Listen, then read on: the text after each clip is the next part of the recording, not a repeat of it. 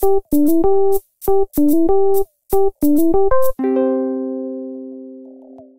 I'm Becky Stern here in Brooklyn at the Gowanus Studio Space for the Jello Mold competition. Nadia, what can you tell me about this awesome event that you organized? Well, uh, this year's focus was on the resilience of Jello, which um, hopefully it's holding up given that it's kind of hot outside.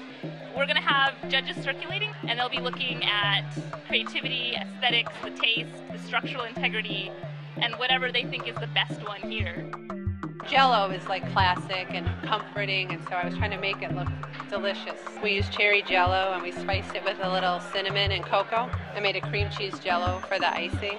We have an apple pie, which is a caramel, like almost like a panna cotta for the crust.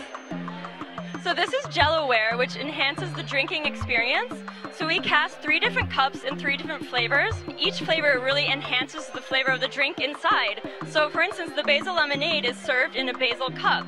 So as you're drinking your drink, it smells like basil and you can nibble on the glass and it tastes like basil. This is Aspic Ascension Tastes Like Heaven.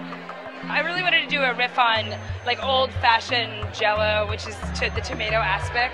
You know, sort of got really, really big in the 50s, and then make it irreverent. For it to taste decent, you have to put the right amount of gelatin in it, and to make it stand up on the stick, it would have tasted terrible.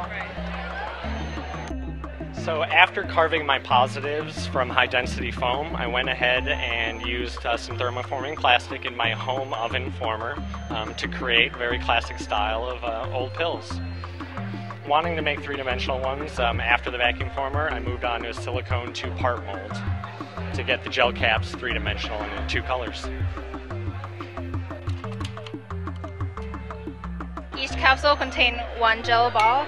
We have five flavors. This one is peach with edible glitter and there's also a coconut chunk inside. My name is Sue Tran. I'm your host. I'd like to introduce our judges. We have Harry Allen, Allan Chochinov, Elizabeth Jones, and Becky Stern. The grand prize winner of the 2010 Gowanus Studio Space Jello Mold Design Competition is Shelly Sable with her Bloody